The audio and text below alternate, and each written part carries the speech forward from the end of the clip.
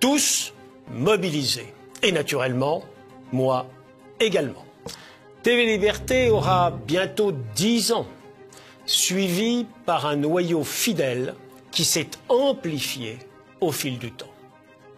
Je le salue et désire également m'adresser aux 900 000 nouveaux téléspectateurs qui nous ont rejoints en 2022. Et je voudrais leur confirmer notre règle du jeu. En effet, trois types de ressources financières sont possibles pour les médias. D'abord, les subventions publiques ou mécénat privé. Mais alors, comment donc combattre un système qui les distribue? La publicité, économie fragile et bien souvent négatrice de nos valeurs. Et enfin, le don, le choix de la liberté, le grand principe fondateur de notre civilisation européenne. Et oui, c'est notre choix. Par conséquent, nous n'avons donc aucun autre patron que vous. Stop ou encore Les programmes de TVL vous conviennent Alors dites-nous encore en effectuant un don maintenant.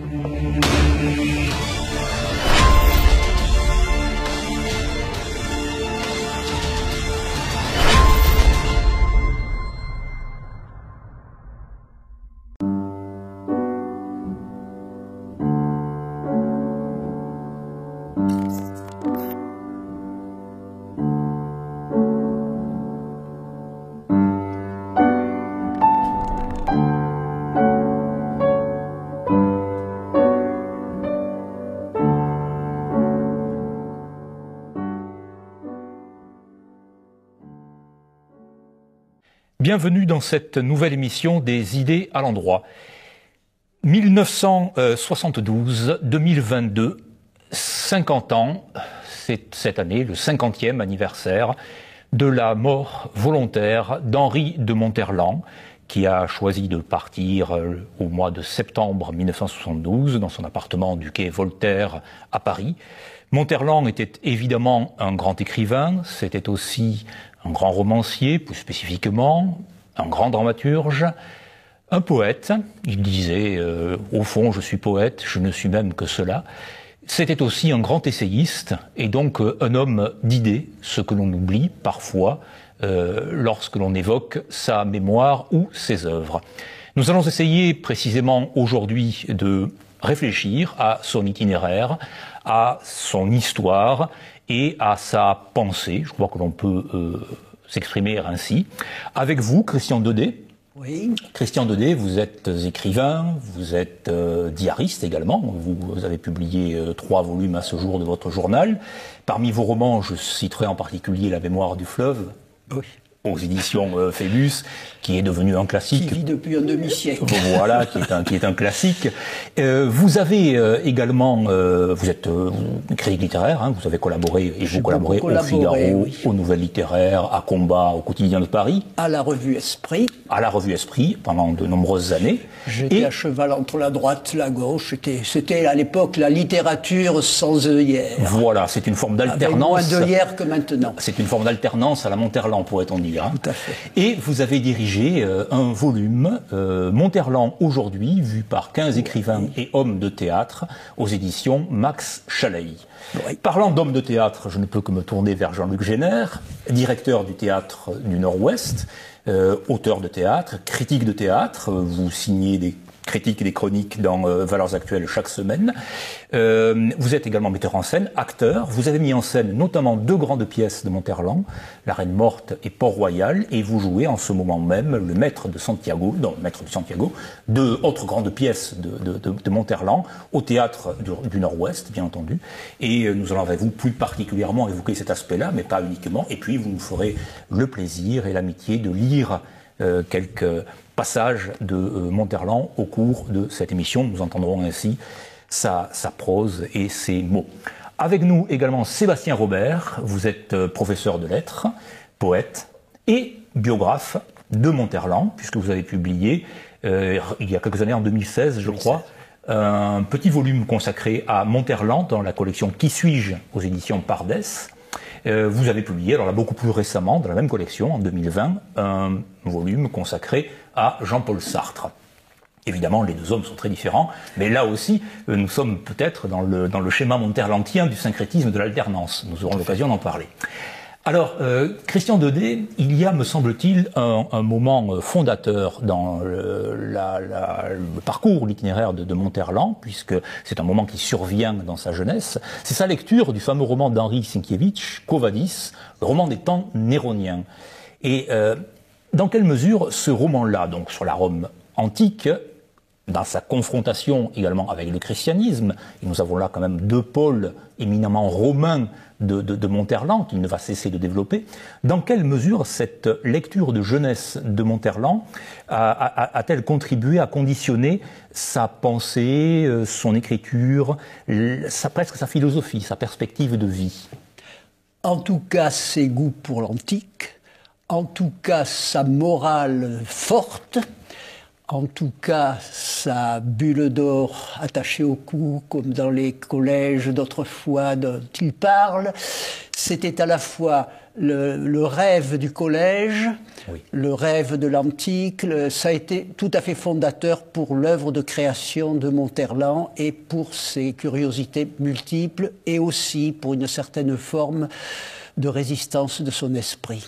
Voilà, parce que Monterland, c'est un homme qui, euh, à la fois, est de son temps, de son temps, je veux dire par là qu'il a joué le jeu de la publication, bien entendu, le jeu de l'Académie française, en l'occurrence, hein, dans une circonstance particulière. D'ailleurs, il a accepté d'être élu, mais à condition de ne pas faire un certain nombre de visites. Ça en dit long sur l'esprit. Et de se contredire par la suite. Et de se contredire. fois.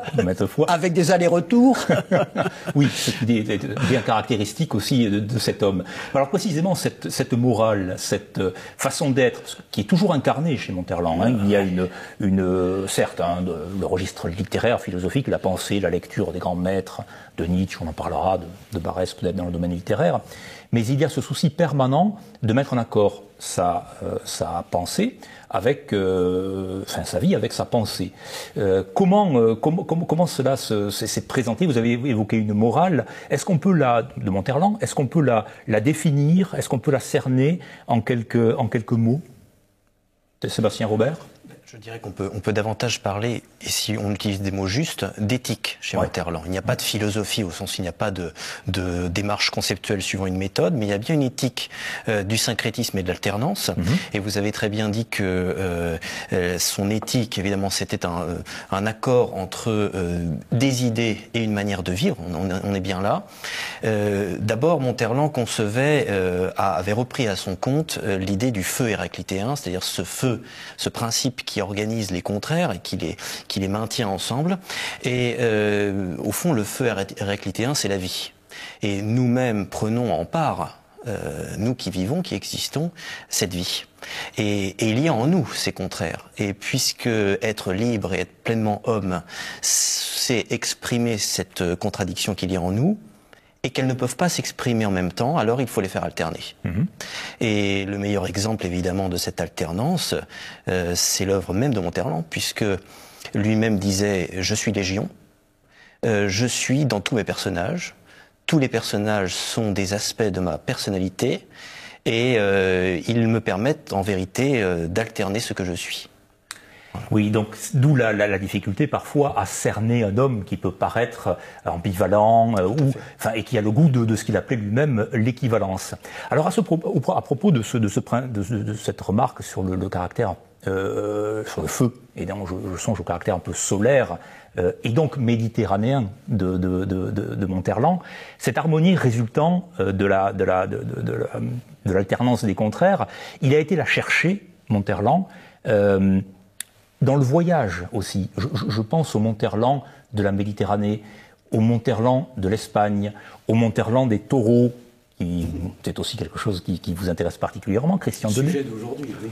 En plus, aujourd'hui, c'est un sujet d'actualité. On ne pensait pas, en faisant cette émission, aujourd'hui, qu'on sera à ce point-là dans, dans, dans l'actualité, puisqu'il est question d'une proposition de loi autour de la, de la corrida. Il avait même été blessé. Hein. Il avait même été blessé, il a toré lui-même. Oui, oui, tout à fait. Il était il est très jeune, Oui, il avait une estafilade à la plèvre. Oui, oui, un vrai coup de corne, c'est vrai. D'ailleurs, les, les, les, Bestiaires est un livre voilà. phénoménal, magnifique. C'est le grand bouquin fondateur de la culture tauromachique oui, à partir des années euh, du début de, de, de, du dernier siècle. Oui.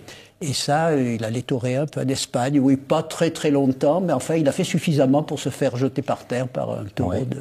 Ça montre bien la, dimension du courage, qui est très très très importante. Oui dans cette époque de lâcheté, euh, quand on voit ce qui, ce qui se dit et ce qui se fait. Euh, donc là, non seulement il a toréé, il, il a été blessé à la guerre, euh, voilà. il a voulu. Enfin, je veux dire que c'est vraiment. Il y a aussi, c'est pas seulement une écriture, c'est aussi une incarnation d'une écriture. Une incarnation d'une écriture. Oui, ce que ce que vous disiez tout à l'heure là sur les sur Je suis Légion, sur les personnages, c'est particulièrement visible dans, au théâtre. C'est pour ça que c'est un grand écrivain de théâtre, parce que il ne donne raison à personne. Il donne raison à tout le monde. Et ça, c'est aujourd'hui. Maintenant, moi, je suis au théâtre tous les soirs quasiment, et je ne vois plus que des, en fait, des quasiment des meetings. Quoi. On voit plus des, des, pièces où il y a des vrais personnages qui ont chacun leur point de vue, qui s'affrontent, qui sont voilà.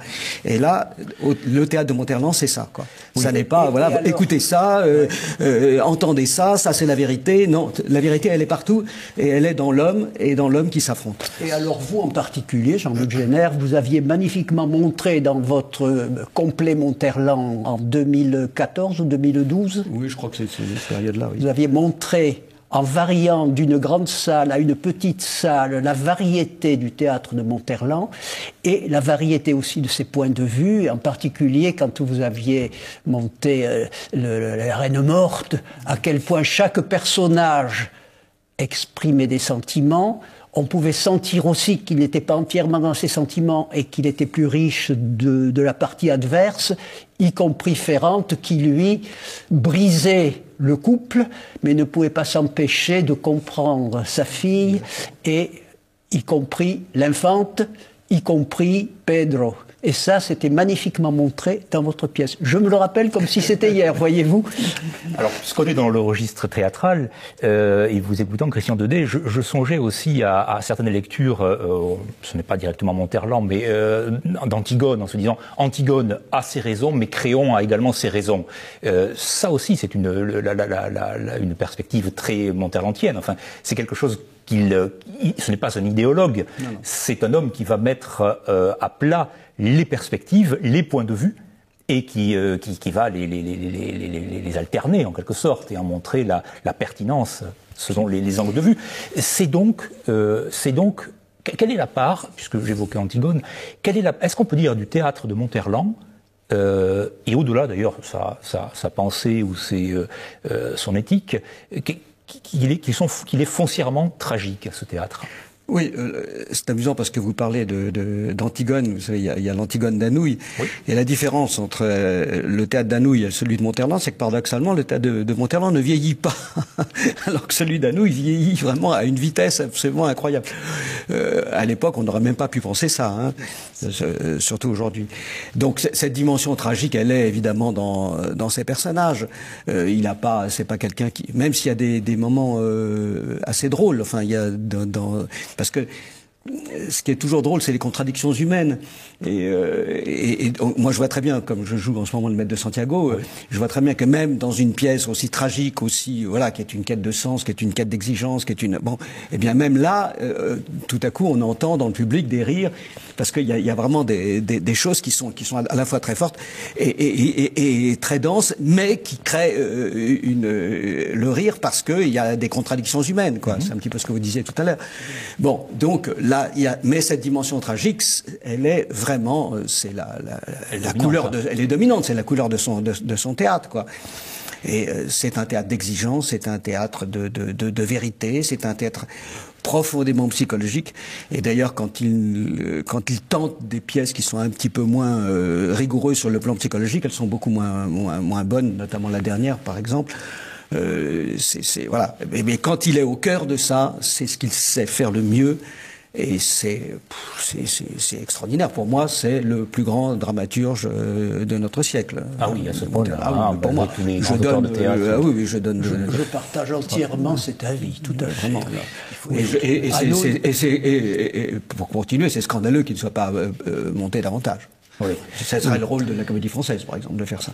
Sébastien Robert Il faut tout de même signaler que, euh, puisque vous parlez de, de la contradiction, on parle aussi de l'équivalence, il oui. euh, faut quand même signaler à quel point Monterland a été constant fidèle, entier et authentique euh, du point de vue de ses principes. Puisque dès aux Fontaines du Désir, c'est-à-dire 1921 si je me trompe pas, dans Syncrétisme et Alternance, j'espère encore une fois pas me tromper, il y a cette phrase, hein, le, le fils qui en veut à son père pour l'avoir sanctionné a autant raison que le père qui sanctionne le fils. C'est-à-dire qu'il dit ça, on est au début des années 20, et il n'en démordra jamais. C'est-à-dire que c'est là, je crois, qu'on peut voir à quel point cet écrivain est authentique. Je ne crois pas qu'on puisse accuser Monterland de s'être trompé ou d'avoir trompé euh, ses lecteurs. Il n'y a pas de duplicité. Il n'y a pas de duplicité. L'alternance ne, ne, correspond absolument pas à la duplicité. elle, est, même l'envers de la duplicité. Et c'est ce, qui fait de lui un homme seul. Ce que vous dites est, particulièrement intéressant sur le rapport entre père et fils parce que euh, il ne trompe pas les gens. C'est-à-dire qu'on sait que lui, il donne raison au père à chaque fois, mais donnant raison au père, le fils a autant raison. C'est ça qui est extraordinaire. Il fait comprendre le fils. Et c'est fils, de personne. Fils de, personne. admirable pièce, en complet veston. Alors là, c'est plus du pourpoint. Et c'était dans le cadre tout à fait idéologique, de, pas, même pas idéologique, c'était pas des idéologies, dans le cadre politico-dramatique de l'occupation. Et, là, il exprime à fond complètement les idées du père, même la mère qui est confite dans sa tendresse pour le fils, tous les, tous les points de vue sont envisagés. Mais la reine morte, c'est le même thème. Hein. c'est les rapports sur la, déception d'avoir un enfant qui, n'est pas à la hauteur de son exigence. Quoi. le père, veut. Mais il pourrait très bien euh, faire ce que, voilà, donner raison au père. Et puis, non, pas du tout, pas du tout, pas du tout. Chacun a raison de son point de vue. Et ça, c'est la marque d'un grand écrivain, d'un grand dramaturge. En tout Inès est toujours touchante. et, et il la sent en femme, mais en femme touchante et, féminine, et c'est absolument. Et par contre, alors, il campe une infante guerrière et tout, avec une habileté de passage d'une féminité à l'autre admirable. Admirable, oui. Oh, bah, je, suis d'accord avec vous, Jean-Luc, c'est le plus grand dramaturge de, de Pour moi, siècle en France, bien sûr, bien sûr. À nous, il, y, a, encore de très beaux Antigone, des choses comme ça. Mais la grotte, par exemple, il y a des pièces. la grotte est une très mauvaise pièce. oui, il y, a des, il y a des choses qui tiennent plus la route maintenant de Hanouille. Absolument, je suis de votre avis. Alors Monterland, lui, tient très bien la route. On l'a bien compris, on l'a bien entendu. Oui. L'écriture, hein. c'est-à-dire que l'écriture de, de Monterland est une écriture tenue tout à l'heure, vous disiez qu'il il se pensait poète, mais il n'écrit pas comme un poète, il écrit comme un dramaturge, mais dans son écriture dramaturgique, il y a une dimension poétique. Et c'est ça qui tient et qui fait que ça passe les siècles, comme Racine passe les siècles, comme et ce qu'il n'y a pas chez Anouilh. Oui, c'est le grand classicisme de Monterland. c'est le grand classicisme, mais, mais, parce que c'est un grand classicisme, c'est ça qui passe le temps. C'est-à-dire, pardon, c'est un classicisme au fond qu'il a défendu sans vraiment le dire, lorsqu'il a notamment euh, au, lors d'une interview indiqué que le, ce dont le théâtre souffre souvent, c'est la complexité de l'intrigue. Il avait été voir les Justes de Camus et il avait très vite décroché. Et je crois que le théâtre de Monterland, vous le dites, vous l'avez défendu, et il, a aussi cet avantage d'être euh, épuré si je puis dire. Et ce qui fait, ce qui fait d'ailleurs très bien tenir l'intrigue, on, le suit. Euh, les, comment dirais-je, les problématiques abordées, sont resserrées. Et c'est ce qui lui donne sa force, mhm. euh, sa force, sa force toute classique justement. Alors justement, Jean-Luc Génère, vous avez choisi de nous lire un, extrait du théâtre de Monterland. Précisément, nous allons essayer d'entendre cette voix de, de, Monterland euh, et du Monterland, bien sûr, dramaturge, que vous avez donc mis en scène, Jean-Luc Génère, et que vous jouez euh, aujourd'hui même, le maître de Santiago en l'occurrence. Mais je ne sais pas du tout quel extrait vous avez choisi, de quelle pièce. Écoutez, ben, je euh, comme je joue le, maître de Santiago, et, pour moi c'est son chef-d'œuvre. Hein. Donc j'ai pensé que c'était bien de lire un, de lire un extrait. Il y a deux personnages, hein. c'est la confrontation entre Alvaro et son, son, meilleur ami qui est Bernal, qui sont donc des, des, des, chevaliers du, maître, enfin de, du, de Santiago. Très bien. Vous ne savez pas à quel point je suis affamé de silence et de solitude. Quelque chose de toujours plus dépouillé. Tout être humain est un obstacle pour qui tend à Dieu. Les mouvements que Dieu me fait la grâce de mettre en moi, je ne puis les percevoir que dans une abstraction complète, comme ceux qui écoutent la musique les yeux fermés. Ce qu'il me faudrait, ce sont des journées vides, si vides. Tout ce qui entrerait, et l'amitié même, et l'affection surtout. N'y entrerait que pour les troubler. Mariana, je l'entendais marcher. Il arriva qu'elle chantât. Elle me lassait souvent et m'impatientait à l'occasion. La vitalité est quelquefois un don bien redoutable. Et puis, il est lourd d'avoir une fille en un temps où tout ce que l'on peut pour elle est de la protéger. Ouais. Toute l'éducation réduite, sans plus.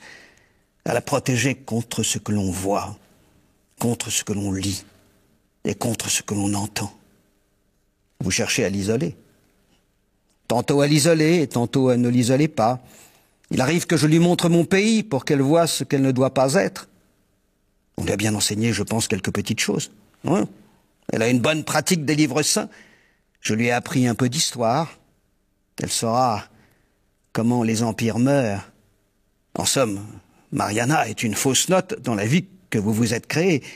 Il me semble que Fillette, elle vous donnait plus de joie. Elle me dégradait aussi. Elle vous dégradait. Les enfants dégradent. Nous ne nous voyons qu'au repas, et de chacun de ces repas, je sortais un peu diminué. Jeune fille, sa vie est devenue quelque chose qu'il fallait prendre au sérieux, et qui cependant ne m'intéressait pas. Qui ne vous intéresse pas, et vous intéresse assez peut-être pour que vous soyez agacé, que cela vous échappe. Agacé? Non. Fatigué. L'effort que je faisais par charité pour elle, pour paraître m'intéresser à cette vie si étrangère à la mienne, m'épuisait. Merci beaucoup, Jean-Luc Géner.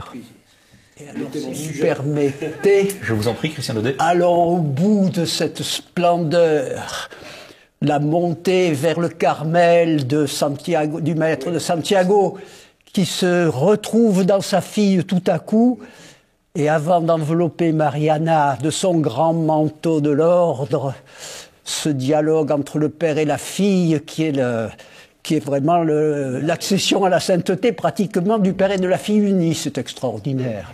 Mais c'est-à-dire que le- Extraordinaire. Pour moi qui suis euh, euh, catholique, il est évident que euh, le rapport que, de, Monterland à la religion, qui est un sujet, voilà. bon. Nous ne pouvons pas ne pas l'aborder. On bien peut pas ne pas l'aborder. Euh, et donc là, il est évident que sa vision du christianisme, qui est cette exigence et ce rapport juste entre Dieu et, et l'homme, est un peu hérétique, un peu protestant d'une certaine façon. Pour moi, évidemment, et c'est pour ça que la pièce est formidable, c'est que il finit par comprendre à la fin que c'est par sa fille qu'il va rejoindre, alors qu'il a, il a toujours nié les autres, alors que le christianisme passe aussi par les autres, par l'amour des hommes et pas seulement par l'amour de Dieu. Donc c'est par l'amour des hommes qu'on passe à l'amour de Dieu. Lui, il veut écarter, éliminer l'amour des hommes. C'est donc c'est le personnage. Alternance. Syncrétisme et alternance. L'alternance quand ça me fait plaisir, et puis à confesse si ça me fait pas plaisir, et puis on recommence. Mais, mais chaque fois, dans chaque aspect du christianisme, il en dégage une vérité essentielle. C'est ça qui m'a toujours frappé dans Monterland. Alors, justement- il ne croit pas, et malgré qu'il ne croit pas, il est plus compréhensif du christianisme que bien des cagots ou des dévots qui, ça, eux, euh, qui eux, avalent tout sans comprendre. Et puis il Voilà. interroge, quoi. Il est, il est toujours, Ah, euh, il interroge, oui, il interroge, toujours. il interroge. quoi. Et, et toujours dans une tranche de vérité vraiment. Justement, en tranche de vérité, je pense à une formule de Monterland euh, qui est celle de ligne de crête. Monterland évoque la ligne de crête du christianisme qui part des évangiles, qui va à Saint-Paul, Saint-Augustin, Port-Royal. Il, il la comprend comme ça, cette vague de crête, et il pense le christianisme ainsi. C'est-à-dire qu'il y a, co- comment peut-on euh, définir cette religion de Monterland, avec des guillemets bien entendu, parce que bon, il y a eu quand même l'influence de la grand-mère hein, qui est très importante, qui est très prieuse, enfin, euh, mais lui pas, ne se situe pas dans, dans un registre croyant, et puis il y a tout, ce, tout cet attrait pour la Rome antique et pour la, la, la Rome païenne. Mais est-ce que l'on peut dire de, de, de la religion de Monterland euh, qu'elle est euh, assez orienté dans le sens du jansénisme. Ce qui irait, euh, ce qui serait au fond très conforme à la, à la, à la tragédie théâtrale et, et à l'aspect tragique de, de sa vision. Je crois, je crois en vérité que, mais ça n'engage que moi, que, que, que tout cela est un leurre. Euh, il n'y a ni jansénisme euh, ni religion de Monterland. Je crois que c'est tout simplement un écrivain euh, qui est un dramaturge qui est fasciné par euh, l'intégralité euh, du, du, catholicisme, par euh, le rigorisme, le respect de l'observance de la règle. Le jansénisme, euh, on le voit dans Port-Royal, c'est quelque chose qui le, qui le fascine. Et, je crois que c'est un amoureux du rite, un amoureux de la vérité religieuse, alors que lui-même, effectivement, n'est pas, n'est pas croyant. C'est ce qui, ce qui est assez fascinant, et c'est ce qui, et c'est ce qui fait finalement de cette œuvre un, un bon observatoire du catholicisme. Hein. Il n'est pas croyant, mais il est en tension constante. Mais il est en tension constante, c'est vrai. Mais bon. constante, c'est ça qui, qui, qui, qui, est extraordinaire. Et puis, et puis, il a une vraie connaissance du, du, du christianisme. Très pointu. Avec, toutes ces, avec ces trois pièces religieuses. Et alors, comment justement, indépendamment de ce, de ce versant, donc syncrétisme et alternance et équivalence dont on a parlé, comment euh, dans, la, dans, la, dans la pensée de Montalent, dans son écriture, s'articule ce, ce sens extrêmement vif du Dieu unique et ô combien unique dans la perspective janséniste, bien sûr, et ce polythéisme euh, méditerranéen, solaire, euh, mitraïque, tauromachique, je ne sais pas comment on peut le, qualifier, mais ce sont des termes en, l'occurrence presque équivalents. Euh, on, ne peut quand même pas l'expliquer uniquement par le goût de la, de la, de la, par une forme de curiosité. Est-ce que c'est là aussi ce qui fascine Monterland, donc c'est l'aspect rituel que vous avez évoqué, Sébastien Robert, aussi sur le versant antique. Donc. Oui, je pense aussi. Alors évidemment, euh, on ne peut pas dire simplement que Monterland, comme vous, vous le soulignez, est, est, simplement fasciné par les rituels, mais hmm. c'est une part de son intérêt. Alors évidemment, il est euh, aussi euh, toute, toute son œuvre théâtrale et euh, une partie de son œuvre euh, romanesque euh, témoigne aussi d'un goût pour les valeurs. Oui. Les valeurs aussi bien que valeurs conjointes parfois, euh, voilà, euh, romaines et chrétiennes. La lettre d'un père à son fils, hein, on, peut, on, peut, en citer quelques-unes, c'est ces valeurs oui. font de son éthique. Et la lettre justement euh, d'un père à son fils est très intéressante parce que elle est, elle est, c'est un outil au fond pour, euh, il donne des indications, il répond à la question comment vivre l'alternance? -hmm. Ça ne se vit pas n'importe comment, ça se vit selon des règles. Alors, parmi les règles qu'il énonce, il y a notamment l'indifférence, il y a la volupté. Donc, cette alternance, le elle doit être le mépris, euh, ce qui lui a valu cher d'ailleurs. Ah, c'est oui. un écrivain pour beaucoup euh, collé-monté, mais encore c'est euh, victime de son image. Mhm. Mm -hmm. Mais l'alternance, c'est pas faire tout et n'importe quoi, c'est pas alterner n'importe comment. Il faut quand même des principes, il faut, une, une, si je puis dire un peu trivialement, une feuille de route. Un ordre. Voilà, un ordre. Mm -hmm. D'où aussi le goût des ordres monastiques, hein, du Carmel que l'on a, que l'on a cité. Oui, Génère Non, non, je veux dire que oui. ce qui est extraordinaire aussi, c'est sa modernité. Regardez par exemple avec ce qui se passe dans l'Église en ce moment avec les problèmes de pédophilie ou les, les, les, les problèmes. Donc, quand, quand vous voyez une pièce qui est pour moi un des, un des grands chefs-d'œuvre, qui est La ville dont le prince est un enfant, la dernière scène, elle est absolument extraordinaire.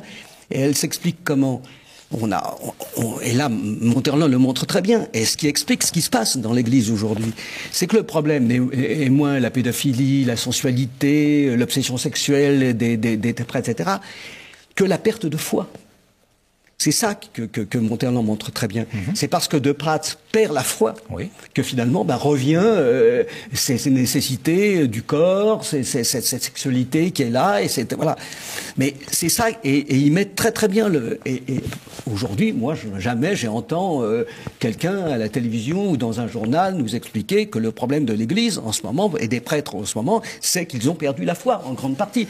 Bon, oui. alors que Monterland oui. met, met, le doigt dessus d'une manière euh, et la incroyable. La Prat dans la pièce, dans La ville dont le prince est un enfant, il se trouve tout d'un coup dans la nuit de la foi. Exactement, la nuit de la foi. Il a tellement perdu entre les sens, le, les, les, fantasmes les, et ses profondes convictions religieuses, tout d'un coup, elles s'éclipsent et il est dans le noir. C'est ce que c'est le supérieur. Voilà. Exactement. Voilà. Oui. Alors ensuite, est-ce que, ça, est -ce que cette nuit de la foi n'est qu'un passage ou une, malheureusement une fin? Ça, la pièce ne le dit pas. La pièce le laisse justement laisse, laisse ouvert. Comme, comme et c'est l'adresse de cette voilà. pièce qui est, qui est, qui est qui, géniale. Ah, qui, est, qui, est, absolument géniale. Malavoie avait fait une très, bon, une très bonne adaptation de film. J'ai aimé. Vous avez aimé le film oui, de Malavoie bon, Comme j'ai mis en scène, je suis toujours un peu...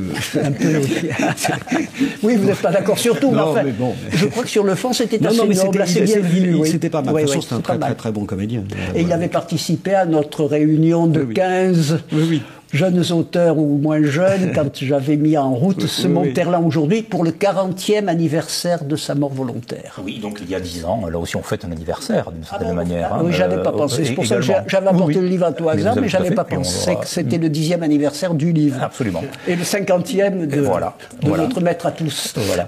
Alors, nuit obscure de l'âme ou pas à la Saint-Jean de la Croix, disons, euh, est-ce une, une, traversée, un moment de sécheresse qui va s'ouvrir sur éventuellement une certaine lumière, un certain soleil ou pas euh, Bon, la question reste donc, chez, chez. Est-ce que, si on, présente les, choses d'une manière peut-être un peu moins, si on se situe un peu moins dans le registre chrétien de l'espérance, en l'occurrence, puisque c'est de cela qu'il s'agit, d'une certaine manière, euh, ne pensez-vous pas qu'il y a dans le tragique de Monterland une dimension désespérée? Est-ce que, euh, indépendamment d'ailleurs de la question finale de la, de la mort volontaire, hein, euh, n'y a-t-il pas sous la, les protestations de vitalité, de vitalisme? Réponse à cela, d'où sa quête chrétienne. Hein. Mm -hmm. Parce que le christianisme porte, lui, cette espérance. Donc la désespérance dont vous parlez, elle est absolument évidente hein, dans, dans, dans, dans, son œuvre, en tout cas dans le théâtre. Moi, je connais moins bien le... Mais elle, elle, elle est, évidemment, elle affleure partout. Mmh. Mais d'où cette, cette espèce de, de, de quête? Euh, d'interroger le christianisme en disant où est-ce que ce serait tellement formidable que ce soit la vérité? Voilà. voilà. Mais je voudrais tant que cela soit. Voilà. Je voudrais tant que cela soit. Mmh. Voilà. Bah, oui, mais. Oui.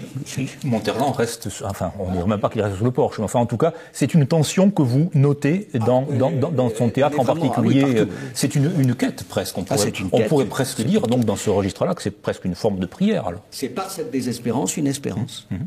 D'accord. Christian Dedé On vient de lâcher tout à l'heure le mot mépris. Alors, le mépris de Monterland qui a fait tant jasé, tant euh, tourné des animosités contre lui, en fait, ce n'est pas le mépris au sens du, oui. de, de, de, de, la dérision de l'autre. Mm -hmm.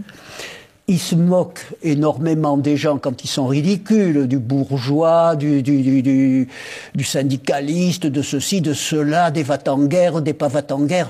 Il y a un certain mépris. Mais le mépris est toujours dosé selon l'être qu'il a en face. Ce n'est pas un mépris de l'individu, c'est un mépris de ce que l'individu fait. Et, et, transposer ça sur le plan de colonialiste ou anticolonialiste, oui. ce qui me permet de dire que Monterland était anticolonialiste, ben, par raison, puisque les colonies sont faites pour être perdues, mais aussi il était, il était anticolonialiste par une espèce de rage de voir à quel point le petit blanc qui arrivait se croyait tout permis et méprisait. Alors justement, c'était le blanc qui méprisait alors que lui méprisait le blanc qui méprisait. Mmh. Et par contre, il y avait une grande compréhension et presque une affection vis-à-vis -vis du, du, du, colonisé, qui, du Mustapha, dont on se moquait. Mmh. Voilà. Et alors ça, c'est le, le, mépris très spécial de Monterland, qui fait que c'est pas un mépris daté de son époque, c'est un mépris au-delà des convictions politiques ou autres, c'est un mépris pour ce qui est méprisable. Pour ce qui est médiocre. Pour un, ce qui est, est médiocre. En prison, en prison pour médiocrité, hein, absolument, la reine morte. Absolument. C'est-à-dire, au fond, c'est euh, aussi une attestation de sa morale aristocratique. Absolument. Et il n'y avait pas plus respectueux que Monterland pour ses domestiques, ses employés. C'est, enfin, il introduisait toujours une notion d'amitié dans tout rapport humain quand il sentait qu'il avait des innocents en face de lui.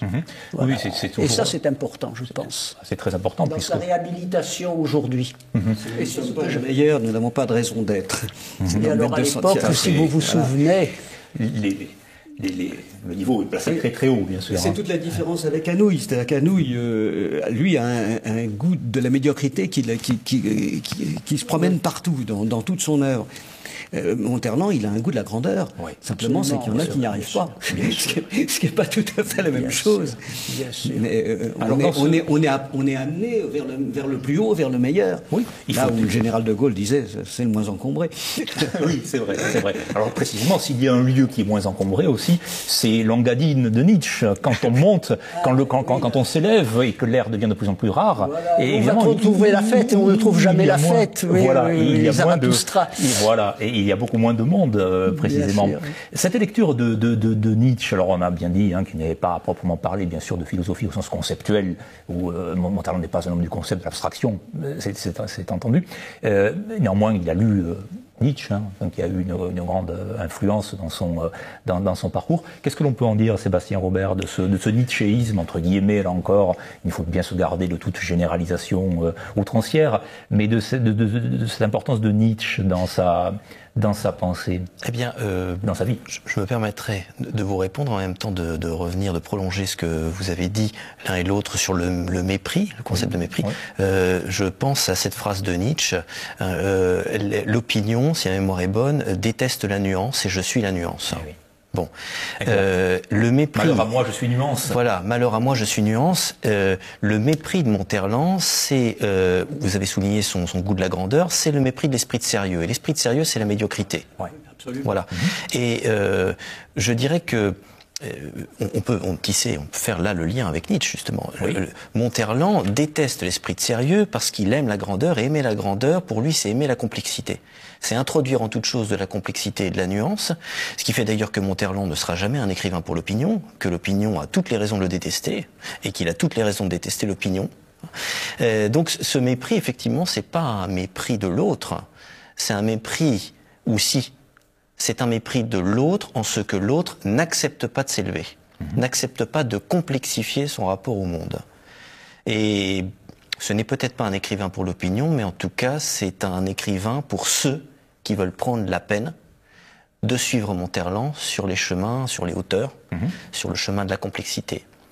Et de, voilà, de voir le monde, non pas en blanc et en noir, mmh mais de manière un petit peu plus profonde. Voilà, et plus nuancée, c'est ce plus nuancé.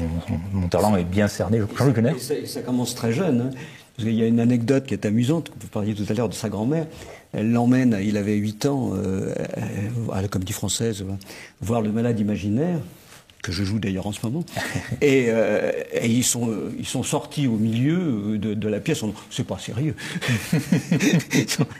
Tout ça n'est pas sérieux. C'est extraordinaire. Voilà, bon. À mon avis, la pièce devait être très mal montée.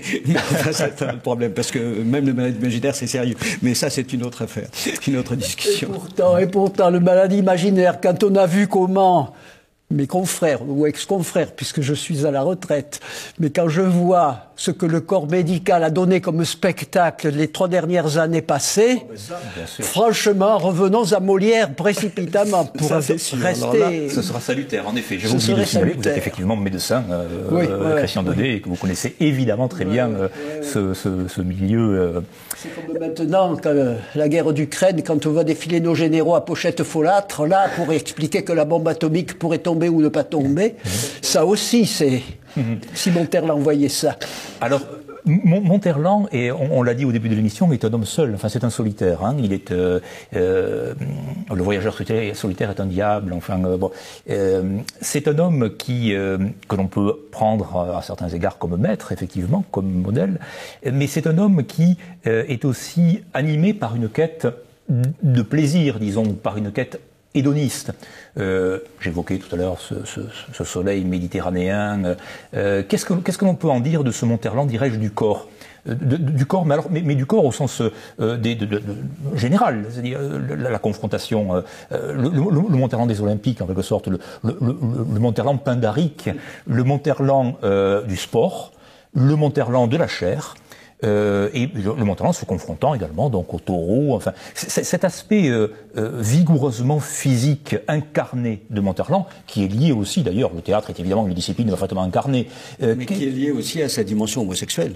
Oui, il faut, il faut, oui. il faut aussi, dont oui. il faut aussi parler. Quoi. Oui. Et cette quête du corps, c'est une quête, euh, enfin, je dirais pas spécifiquement, mais quand même très, très, très proche de, de, de, de la pensée, enfin, de, de l'univers homosexuel. Vous l'associez euh, ah, spécifiquement oui, tout à fait. Et là, là, on voit bien que parce que ça, cette dimension-là, elle existe, mmh. mais elle n'est pas. Euh, euh, elle n'est pas obsessionnelle quoi dans, dans, dans son œuvre. On la sent pas quelqu'un qui ne connaît pas euh, qui ne sait pas que Monterland est homosexuel lit son œuvre et ne, ne voilà c'est pas du tout comme certains auteurs où on peut pas trouver une, une ligne. Je pense pas à Jean-Marie Besset ou à d'autres vous pouvez pas écrire trouver deux lignes de Besset sans, sans, sans voir la, la, dimension homosexuelle de, de, de l'œuvre quoi. Là chez Monterland pas du tout. Pas du tout elle n'est pas là Elle n'est pas dans le, mais elle est dans ce culte du corps, elle est dans ce, ce, ce regard sur lui-même, elle est dans cette dimension un peu narcissique qu'il a. Oui. Ça, ça, ça, tout ça, c'est vrai. Oui. Christian Dedet Oui, alors euh, Monterland, son homosexualité ne le faisait pas être un de ces homos qui pensent que toutes les femmes donnent le cancer. mais, mais il y a quand même chez Monterland une gêne à appréhender la féminité. Il appréhende littérairement, mais on sent qu'il ne l'appréhende pas vraiment.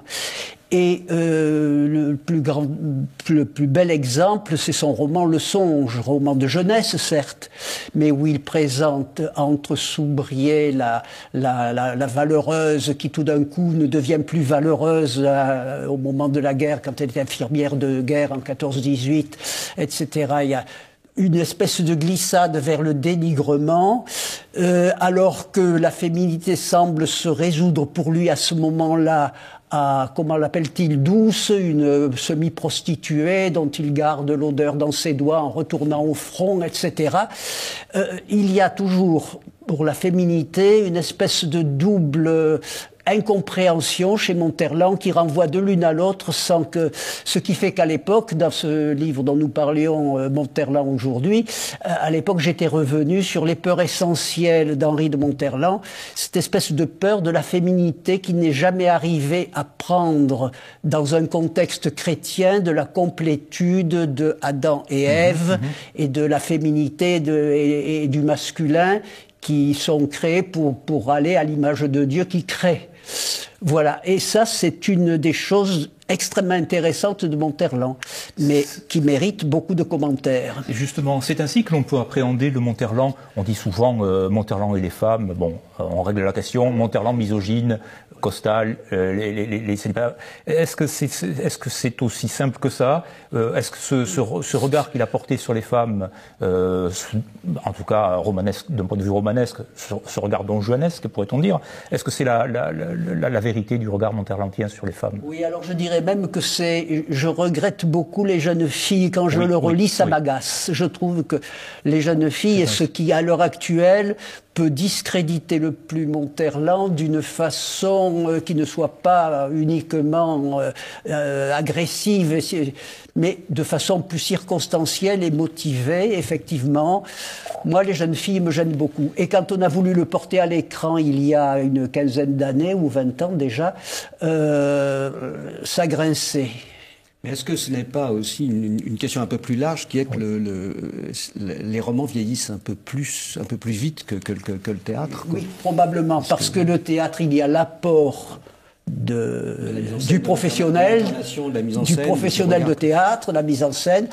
Et chaque époque, finalement, chaque époque a ses Lorenzaccio, a ses, euh, et, et, ça varie avec les époques. C'est certain. Le théâtre est beaucoup plus euh, homogène avec son temps que ce que le roman qui est figé, lui, bien sûr. Sébastien Robert Je le pense. Je me permettrais de pas être tout à fait d'accord avec M. Dedet sur, euh, sur euh, les jeunes filles. Moi, je crois au contraire que les jeunes filles, euh, comme il, Monterland l'a dit lui-même, c'est une série de gags à la Charlot.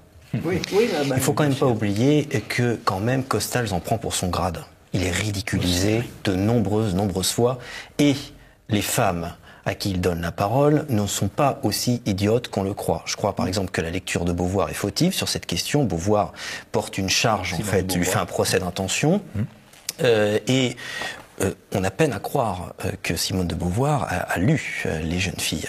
Euh, on se souviendra notamment de la réflexion d'Amélie Nothomb il y a quelques années sur un plateau disant que elle remerciait Monterland de lui avoir montré qui il ne fallait pas être. Je crois que lire Les jeunes filles pour les femmes, qui mhm. d'ailleurs étaient les premières, euh, les lecteurs de Monterland pour les jeunes filles étaient des lectrices, qui lui envoyaient des lettres énamourées et d'admiration. Euh, les jeunes filles peuvent apprendre beaucoup. Ne soyez pas des oies blanches, méfiez-vous du loup, des manipulateurs. Ouais. Et non, au contraire, je crois qu'il y a une grande modernité des jeunes filles, qui a peut-être un peu plus vieilli que les célibataires, mmh. qui pour moi est peut-être son meilleur roman. Euh, mais non, c'est une grande série. Et, et d'ailleurs, elle est, elle, c'est peut-être le, un des seuls ouvrages de Monterland qui est continué à être édité. mhm. aujourd'hui. Je suis entièrement d'accord avec ce que vous dites. C'est l'autre le, versant de ce que je disais. Et j'ai été peut-être un peu exagéré dans mon versant à moi, mais il y a des choses qui maintenant me semblent un peu exagérées. Et il est certain aussi qu'il se foutait de la gueule de Costal tant qu'il pouvait, et il se mettait en, scène, c'est certain. Mais enfin, le temps a évolué dans un sens qui prête plus d'importance à ce qu'il disait contre les femmes que ce que... Euh, voilà, c'est tout. C'est circonstanciel. Mais on a raison tous les deux, je crois, quand même. C'est l'équivalence.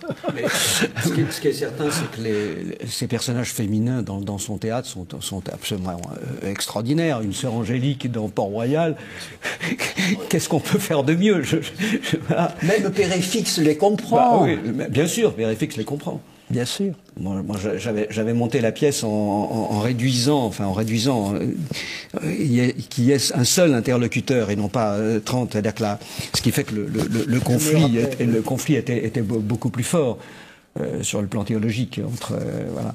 Mais ces personnages de, de, de, Sœur Angélique, cette, cette femme, c'est une merveille, quoi là, euh, dans le, Mariana, dans, dans, dans, le Maître de Santiago. Euh, vraiment, on parlait tout à l'heure de, de, de, la, la, Reine morte. Euh, ces deux personnes. Voilà, c'est très très fort. quoi. C'est aussi fort que les personnages féminins chez Racine.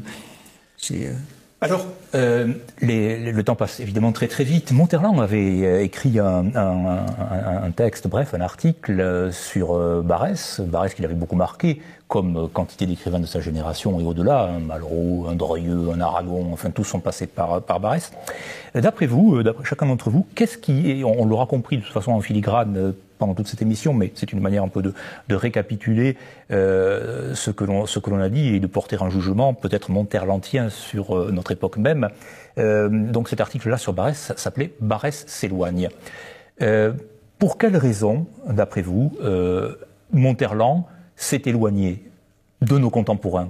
Au fond, c'est nous qui nous sommes éloignés de lui, bien entendu. Bien entendu, mais pour quelles raisons, euh, le, malgré les rééditions, malgré évidemment les, représentations, euh, euh, pourquoi nos contemporains portent, pour ceux qui lisent encore, un regard aussi distancié sur Monterland? Qu'est-ce qui, dans le, dans le style de Monterland, dans son éthique, dans sa pensée euh, est, devenu quasiment, hélas, étranger à nos contemporains. Sébastien Robert. je, crois que si on jette un coup d'œil rapide sur l'œuvre de Monterland, si on lit Monterland de manière frivole, on pourrait s'étonner que Monterland soit au purgatoire finalement. Il aurait toutes les raisons d'être racheté par les catholiques, par la droite, par les anticolonialistes, par euh, la cause homosexuelle.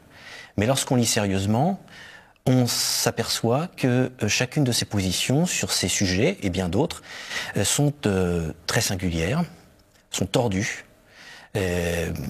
pas très orthodoxes.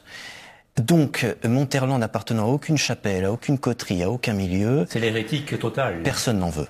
Personne n'en veut, c'est dramatique pour lui. Alors, je me dis peut-être qu'il y a deux solutions. Soit il sera totalement oublié, soit il faudra encore attendre longtemps pour qu'il sorte de ce purgatoire. À mon sens, voilà pourquoi Monterland euh, bénéficie de, voilà, de si peu d'audience. Et c'est dommageable. C'est dommageable parce que il a tout d'un grand écrivain. C'est un grand écrivain justement parce qu'il n'y a aucun compromis chez lui.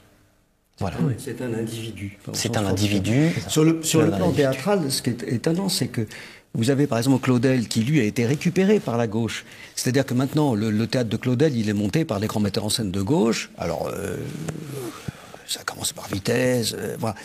Mais alors, on, on occulte les, les, sottises de, de, de, Claudel qui serait euh, sa foi en Dieu. Bon, mais et on monte Claudel pour, pour, pour signifiant tout ça, pour, pour pour cette dimension, euh, voilà, euh, la, la, beauté de sa langue, le, le, la, la, la, force de, de, de, ses personnages. Bon, et Monterland n'a pas eu cette chance-là d'être euh, récupéré par une intelligentsia de, des metteurs en scène qui pourrait faire quelque chose d'assez. Alors, euh, il y, a très très peu d'exemples de, de, de, ça, et c'est vraiment dommage, quoi. En effet, parce que peut-être ces metteurs en scène ont-ils perçu précisément ce qu'il y avait d'irrécupérable au sens de la pièce de Sartre, les mains sales. Vous savez que c'est la manière irrécupérable, et c'est finalement un, un, une belle décoration que d'être jugé irrécupérable par l'époque. Hein. C'est tout de même ces choses heureuses de ne pas être récupéré, justement. Ah ça, je, je, je, dis ça par provocation, hein, mais, mais euh, évidemment. désespéré, hein, je pense que je pense qu'il va revenir. Euh, Son tour viendra.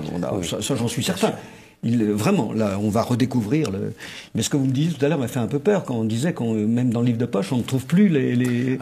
De nombreux titres sont introuvables. Le Maître de Santiago est, euh, ne peut plus, par exemple, être proposé en classe. Enfin, les programmes ont changé, mais au moment où on pouvait proposer librement une œuvre, euh, un petit peu plus librement une œuvre en première, par exemple, on, on pouvait faire le Maître Santiago et de Santiago, mais voilà, euh, l'impression, hein, les dernières impressions sont épuisées et euh, les éditeurs ne le, ne le, republient pas, ne le réimpriment pas. Beaucoup de titres disparaissent. Christian Dedé Moi, je pense, je suis moins pessimiste que vous et je pense que Monterland déjà est dans une situation meilleure aujourd'hui que ce qu'il était il y, a, il y a 20 ans. Et je pense qu'il reviendra d'autant plus que tous les grands écrivains de, de, sa classe ou de, sa, ou de son importance sont au purgatoire très longtemps. Euh, regardez ce qu'est devenu Mauriac maintenant, qui lit Mauriac maintenant? Enfin, c'est. Ou Gide. Qui donc? Ou André Gide. Ah, ben André Gide, encore plus. Alors lui, euh, sa traversée du désert, elle, elle, mmh, dure depuis 50 ans maintenant. Vrai. Mmh. Bon, et Monterland a été au plus bas sous les poignards, les coups de poignard dans le dos d'un certain nombre de faux amis, de cette ordure de Père Fitte, euh, Père Fitte Roger, hein, pas, Roger.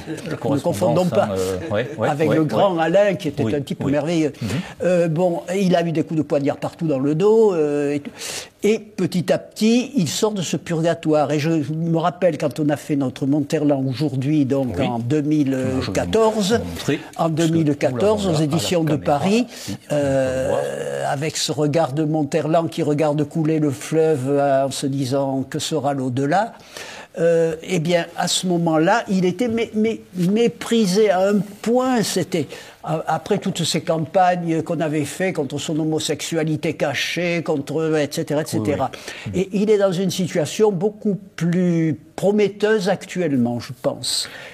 Et vous avez fait beaucoup de choses euh, avec vos, vos auteurs oui, en entier, vos œuvres complètes des uns et des autres, aussi bien d'ailleurs pour Strindberg et pour, euh, et pour d'autres, et pour Shakespeare que pour Monterland. Mais je pense que la dynamique de l'avenir sera de... Et puis on va tellement maintenant vers une impasse d'abrutis total, mm -hmm. où politiquement, euh, médiatiquement, on n'a que des abrutis complets qui comprennent rien à rien et qui sortent. Alors la tauromachie, maintenant, vous vous rendez compte c'est art sublime, c'est art sublime. Alors, une pauvre gosse de 14 ans est, complètement démolie dans une tournante par, trois ou quatre voyous. Oh ben ça c'est un fait divers, il faut. Mais la tauromachie, un taureau qu'on qu estoque, alors qu'on lui épargne à ce taureau-là d'aller à l'abattoir, euh, être saigné pendant des heures.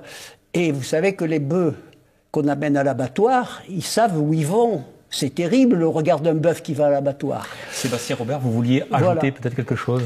Oui, simplement, euh, euh, le, le, quand on sait l'importance qu'a, par exemple, l'université et l'école, euh, dans ces, ces deux institutions-là jouent un rôle important pour le maintien des écrivains, même mmh. leur, leur, renouveau. Alors, vous avez parlé de Mauriac et de Gide. Mauriac est régulièrement lu par les élèves ah oui. de notre époque. On lit Thérèse Le Sagouin, Thérèse Esquerou est un grand classique. On, Gide était au programme des terminales il y a encore quelques années avant la réforme.